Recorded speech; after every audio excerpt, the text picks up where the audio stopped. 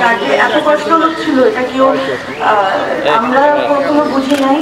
যাদের জন্য কাজ করতো তাদেরকেও সে বুঝতে দেয়নি। তার জন্য কাজ এত গুরুত্বপূর্ণ সে এত ব্যথা নিয়ে এত কষ্ট নিয়ে সকাল থেকে রাত পর্যন্ত কাজ করতো। সে অনেক তার কাজকে ভালোবাসতো।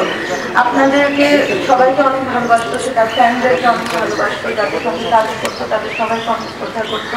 আপনারা তার আপনার জন্য দোয়া করবেন এবং কখনো যদি ভুল করে অন্য কিছু যদি কারও কাউকে দুঃখ দিয়ে থাকে বা কোনো কারণে যদি কারও কোনো ছোটোখাটো কমপ্লেন যদি থাকে তার প্রতি প্লিজ আপনারা ক্ষমা করে দেবেন এবং ক্ষমা চেষ্টা করবেন।